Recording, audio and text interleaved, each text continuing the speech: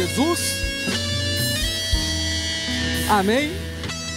Sejam todos bem-vindos em nome de Jesus. Creia que esta reunião vai ser uma reunião especial, onde o Espírito Santo vai falar ao nosso coração, onde ele vai ter a liberdade de tomar a nossa vida e na presença de Deus nós vamos ser fortalecidos. Eu creio que o Espírito Santo vai falar ao nosso coração, ele vai nos dar tudo aquilo que nós precisamos para que a nossa vitória chegue, para que o nosso milagre aconteça, e aonde houver uma ação do diabo, ela vai cair por terra. Amém? Nós estamos aqui no livro de Hebreus, nós estamos meditando nessa palavra, Hebreus, capítulo de número 11, o versículo é o de número 32. Hebreus, capítulo 11, versículo 32. Se você precisar de ajuda, levante a sua mão, que os obreiros vão até você. Livro de Hebreus, capítulo 11, versículo 32. E que mais direi? Faltar-me-ia o tempo, contando de Gideão, de Baraque, de Sansão, de Jefté e de Davi, e de Samuel e dos profetas, os quais pela fé venceram reinos, praticaram a justiça, alcançaram promessas, fecharam as bocas dos leões, apagaram o fogo, apagaram a força do fogo e escaparam do fio da espada. Da fraqueza tiraram forças na batalha se esforçaram, puseram em fugida os exércitos dos estranhos. Veja só que coisa interessante. Nós vamos falar um pouquinho dos heróis da fé, destes homens que, pela fé, conquistaram reinos, conquistaram promessas e venceram seus inimigos.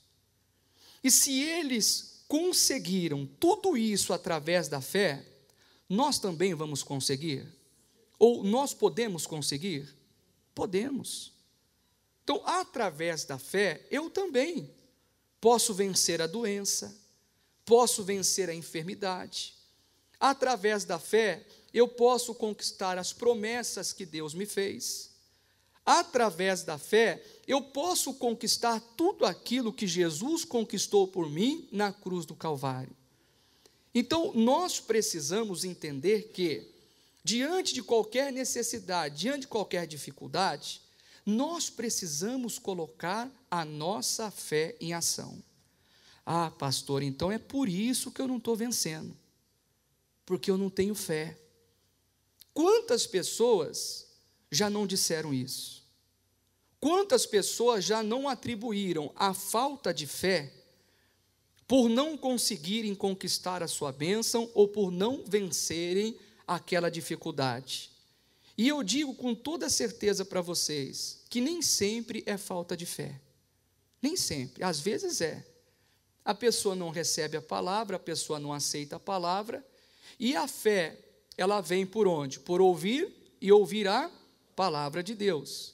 Então a pessoa não aceita a palavra, ela não abre o coração, então Deus não pode gerar fé no coração dela. Mas nem sempre é falta de fé. Nós vamos ver hoje que muitas pessoas elas não estão vencendo, por quê? Porque elas não estão colocando a fé em ação. Quando o problema vem, quando o problema surge, quando a dificuldade aparece, a maioria das pessoas, elas acabam deixando o sentimento e as suas emoções falar mais alto. Quer ver só um exemplo? Vamos para o livro de Lucas, capítulo 8. Lucas, capítulo de número 8.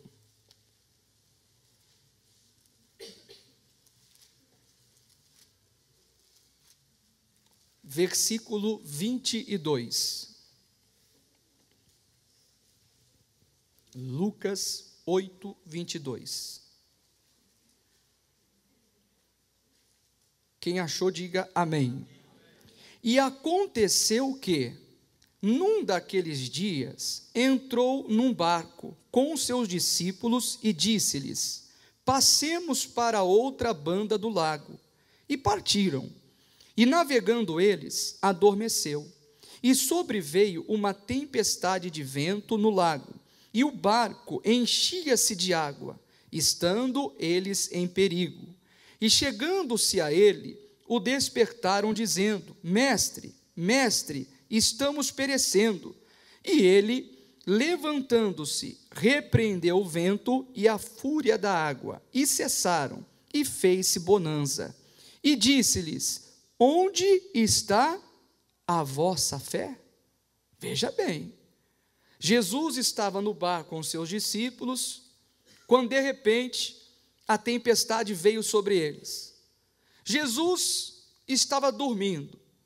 Quando os discípulos viram aquela tempestade, o que aconteceu com eles? Ficaram desesperados, ficaram aflitos, achando que eles iriam morrer. Foram até Jesus, o despertaram. Jesus acordou, repreendeu o vento, repreendeu o mar, e a gente sempre ensina na igreja, a gente sempre fala isso, que depois da luta vem o quê? Vem a vitória, vem ou não vem? Aí a tempestade passou e a bonança chegou. Jesus olhou para os discípulos e qual foi a pergunta que Jesus fez? Aonde está a vossa fé? Se eles não tivessem fé, Jesus teria feito essa pergunta? Não. Ele sabe de todas as coisas, sabe ou não sabe? Se eles não tivessem fé, Jesus não ia fazer esse tipo de pergunta: aonde está a vossa fé? Pelo contrário, Jesus ia olhar para eles e falar assim: ó, vocês não têm fé. E por isso vocês estão agindo assim. E Jesus não fez isso. Então, a maioria das vezes não é por falta de fé. A maioria das vezes a pessoa não está vencendo porque ela não está colocando a fé em ação. Ela está deixando o medo falar mais alto, a dúvida falar mais alto, a incredulidade falar mais alto, o receio, a insegurança. E fora da palavra, Deus não pode operar. Fora da palavra, Deus não pode agir. Amém? Então, quando nós se deparamos com qualquer tipo de tempestade na vida, e você sabe que às vezes as coisas estão calmas, é verdade ou não é? Está calminha, daqui a pouco a tempestade vem. É no casamento, é na vida financeira, na vida profissional, ou em qualquer outra área da nossa vida. O que, que nós devemos de fazer? Colocar a nossa fé em ação. Pastor, volto a dizer, eu não tenho fé. E eu volto a dizer, você tem fé. Porque a fé, ela vem por ouvir e ouvir a palavra. Se você está ouvindo a palavra, com certeza, a palavra está gerando fé no seu coração. Volto a repetir, tem casos que é falta de fé. A pessoa ela não aceita a palavra, ela não abre o coração, aí não tem como a fé ser gerada. Mas a maioria das vezes não. A maioria das vezes é o sentimento e a emoção da pessoa que está falando mais alto e está impedindo o agir de Deus. Não deixe as suas emoções, não deixe o seu sentimento falar mais alto do que a palavra de Deus. A palavra de Deus ela é viva. A palavra de Deus ela é eficaz. E quando nós agimos pela palavra, irmãos, não existe obra nenhuma enviada por Satanás que vai prevalecer contra a nossa vida. Porque aonde a luz está, as trevas não prevalecem. Quem crê, diga amém. Meu irmão, não deixa o diabo continuar te enganando. Não deixa ele continuar cegando o seu entendimento. A partir do momento que eu recebo a palavra, a fé é gerada dentro de mim. E através da fé, Deus vai operar. Veja só os heróis da fé: conquistaram reinos, alcançaram promessas e fecharam as bocas dos leões. Então não era um leão, era vários leões. Talvez você não está passando por uma luta, Talvez você está enfrentando várias lutas, A pessoa que me assiste agora é a mesma coisa. Talvez você não está enfrentando uma luta, várias lutas, mas pela fé você vai vencer todas, como nós também venceremos. Amém? Vamos aqui para o livro de Marcos. Você está em Lucas? Volta um pouquinho para trás. Marcos, capítulo de número 5, versículo 25. E certa mulher, que havia 12 anos, tinha um fluxo de sangue, uma hemorragia, e que havia padecido muito com muitos médicos, despedindo tudo quanto tinha, nada lhe aproveitando, isso, antes indo o quê? A pior. Ouvindo falar de Jesus, veio por detrás entre a multidão e tocou na sua vestimenta, porque dizia: se tão somente tocar nas suas vestes, o que, que ela disse? Sararei. O que, que é a fé? A fé não é a certeza? A fé não é a convicção no meu coração de que aquilo que eu ouvi através da palavra é verdade? Então a fé, eu só estou falando isso, não mostrei ainda, né? A fé não vem por ouvir ouvir a palavra, que está em Romanos capítulo 10, versículo 17. E a fé, de sorte que a fé vem pelo ouvir e ouvir pela palavra de Deus. Então, no versículo 27, diz assim: ouvindo falar de Jesus. Então, naquele momento que ela ouviu falar de Jesus, o que, que foi gerado no coração dela? A fé. Então, a fé é a certeza, a fé é a convicção. Ela foi e tocou nas vestes de Jesus, porque ela dizia: se tão somente eu tocar, serei o quê? Sarada. Vamos ver o que aconteceu com essa mulher. Versículo 29. E logo lhe secou a fonte do seu sangue, e sentiu no seu corpo estar já curada daquele mal. E logo Jesus, conhecendo que a virtude de si mesmo saíra, voltou-se para a multidão e disse: Quem tocou nas minhas vestes? E disseram-lhe os seus discípulos: Vês que a multidão te aperta, e dizes: Quem me tocou? E ele olhava em redor para ver o que isso fizera. Então a mulher, que sabia o que tinha acontecido, temendo e tremendo, aproximou-se e prostrou-se diante dele e disse-lhe toda a verdade. E ele lhe disse: Filha, a tua fé te salvou. Vá em paz e ser curada deste teu mal. Diga graças a Deus. Irmãos, pela fé, nós vamos conquistar a cura que nós precisamos. Pela fé, nós vamos conquistar a prosperidade. Pela fé, nós vamos conquistar tudo que nós precisamos. Mas eu preciso colocar a minha fé em ação. Eu estou é, sempre batendo na mesma tecla. Depois que a crise foi anunciada, quantos cristãos não ficaram para trás? Porque já deixaram aquilo entrar na onde? No coração, não deixa. Nós sabemos que as coisas não está fácil. Sabemos que a luta está grande, mas no meu coração não tem lugar para palavras negativas, porque o meu coração está cheio de fé. Amém? E ainda que o mundo esteja em crise, eu estou em Cristo e quem está em Cristo é mais que vencedor. É assim que eu devo de viver. Eu ouvi falar de Jesus. O que, que você ouviu falar de Jesus? Que pelas feridas de Jesus eu fui o quê? Sarado. Poxa vida, recebi aquela má notícia. O médico me mostrou o resultado do exame. Tudo bem, estou vendo, estou sentindo a dor. Eu passo a mão, sinto o caroço mas eu creio na minha cura porque Jesus já me curou. Irmãos, e sem explicação, porque milagre não se explica. Nós vamos ver um milagre acontecendo. Poxa vida, é assim que o cristão deve de viver. Eu sempre falo, ele não quer uma igreja religiosa.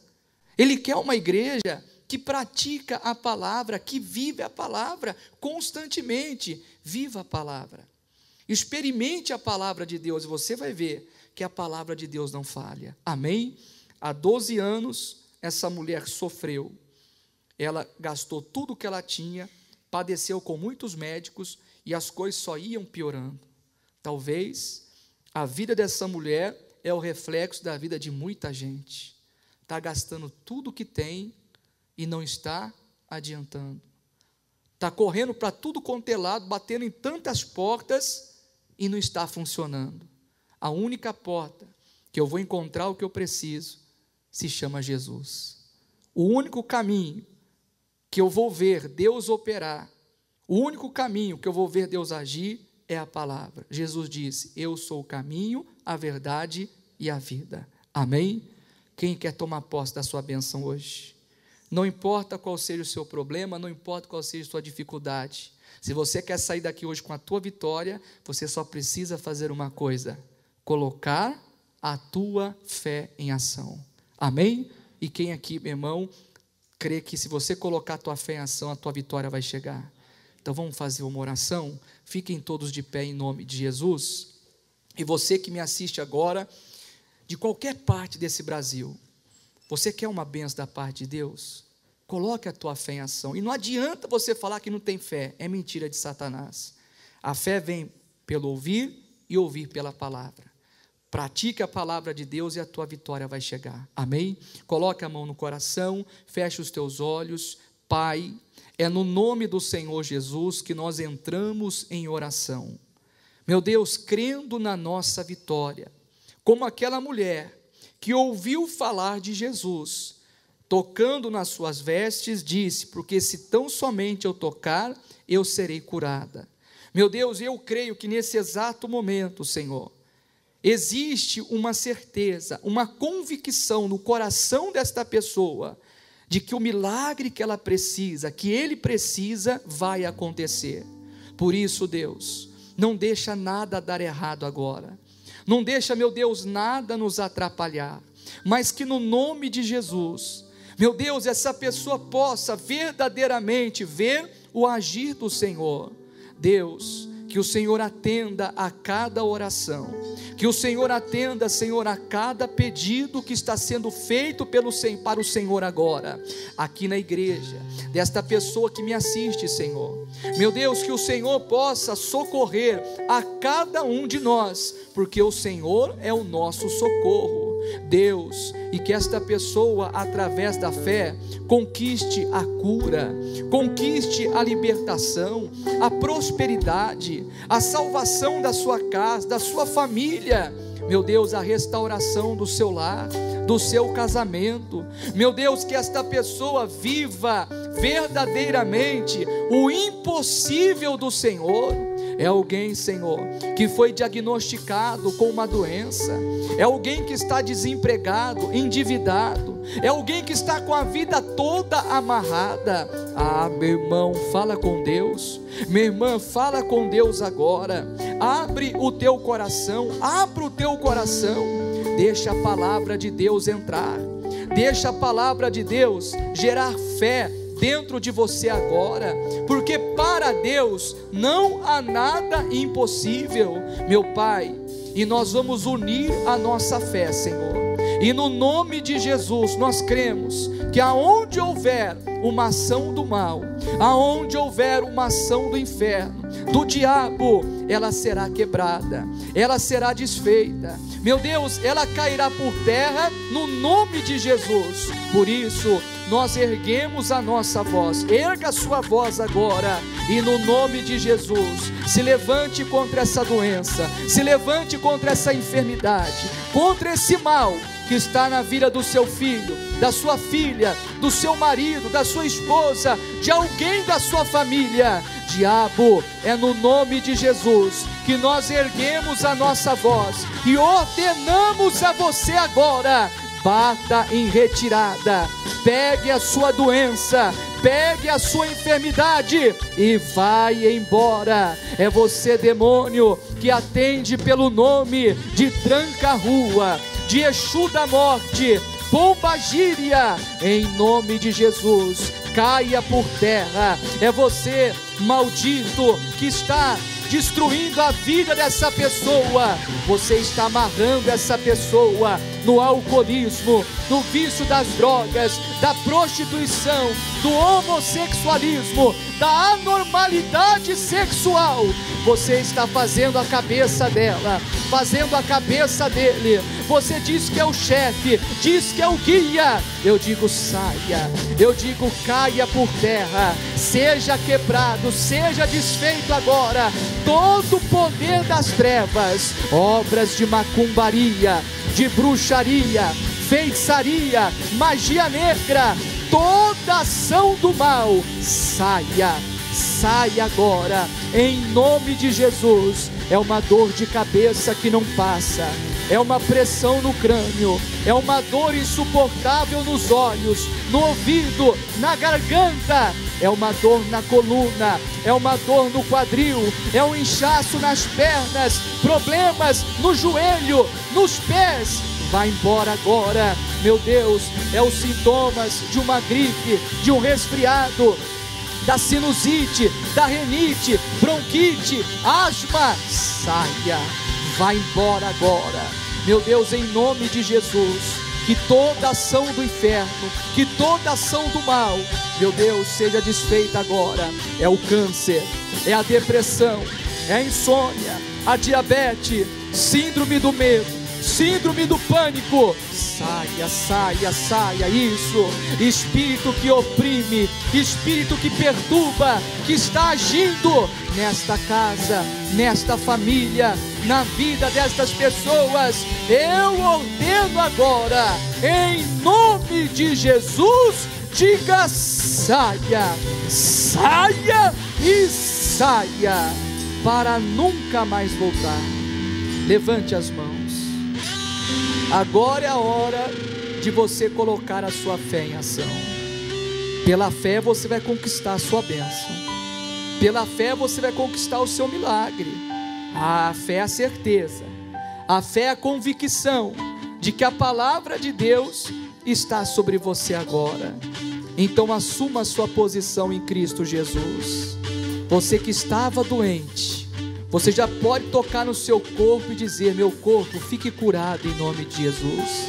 Ah, irmãos, Jesus Cristo te dá saúde. Você que estava passando por qualquer tipo de problema, em qualquer área da sua vida, pode agradecer a Deus. Fala para Ele: Obrigado, Jesus, porque eu creio no meu milagre, eu creio na minha bênção, eu creio na minha vitória. Você que chegou com qualquer tipo de dor no corpo, ah, você já pode dar glória a Deus. Você já pode dizer aleluia. Porque essa dor desapareceu diante da palavra. Pai, eu creio que estas pessoas foram abençoadas e que milagres aconteceram. E nós te agradecemos por isso. E você que crê, diga: Senhor, eu tomo posse da minha bênção, eu tomo posse do meu milagre, em nome de Jesus. Digam amém. Vamos aplaudir o nosso Deus. Pode aplaudir o Senhor, porque a vitória